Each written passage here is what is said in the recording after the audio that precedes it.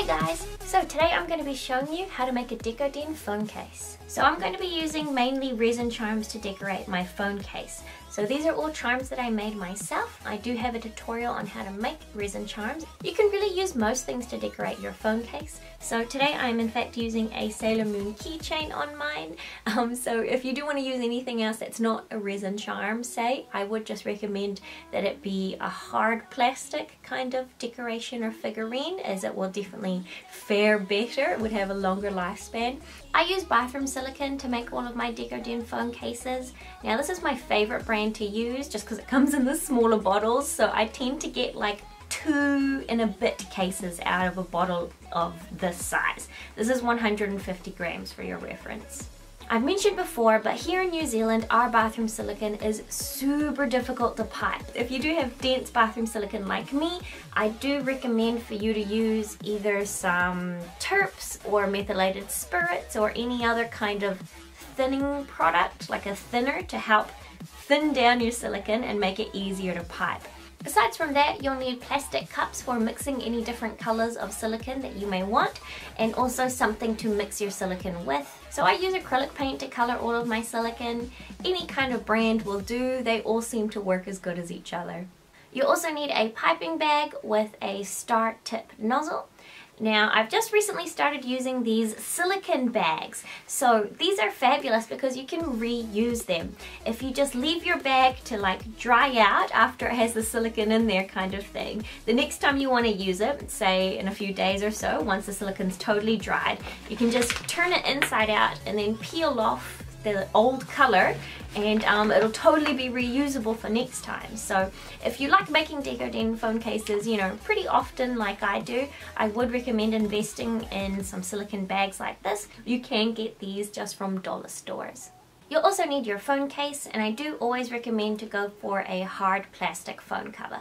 So to start with, I'm going to be adding a bunch of scratches to the phone case just so that the silicone has something to grip onto.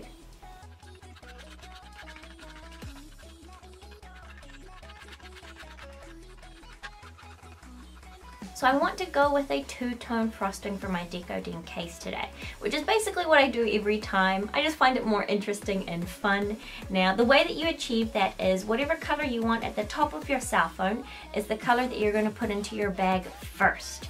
So then whatever color you want second is the color that you're adding in on top of that color. Today I'm actually going to be leaving half of my case white. So I've not done just plain white before. Um, so what I'm going to do is I'm just going to put the silicone straight into my bag and then I'll be dividing out half into here to color it a different color.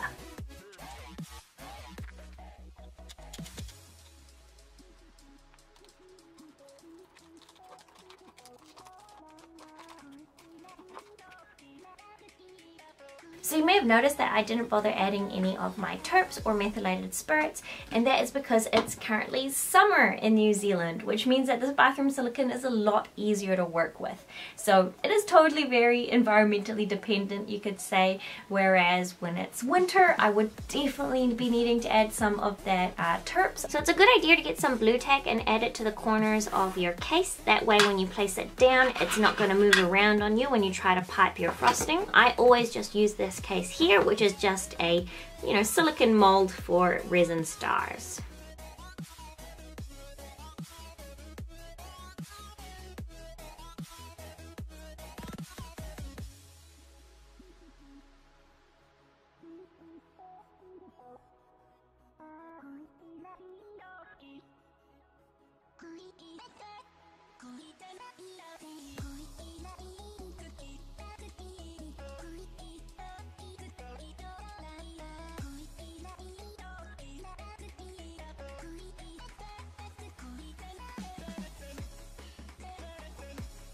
As you can see, the blue is definitely far tougher to pipe because it has been sitting around the longest in the bag, which is already starting to activate. And as well, I have the blue uh, acrylic paint mixed into it. So mixing in that paint totally changes something about the silicone, which does make it more difficult to pipe.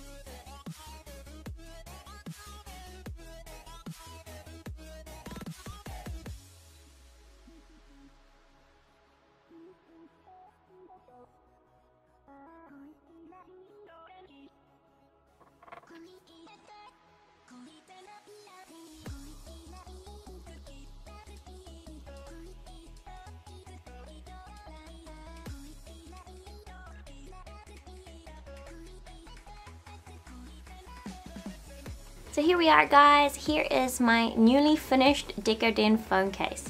So this is still, uh, you know, wet to the touch kind of thing. I need to leave this for say two to three days for it to fully set. Hey guys, so it's been a couple of days now and our case is fully dried.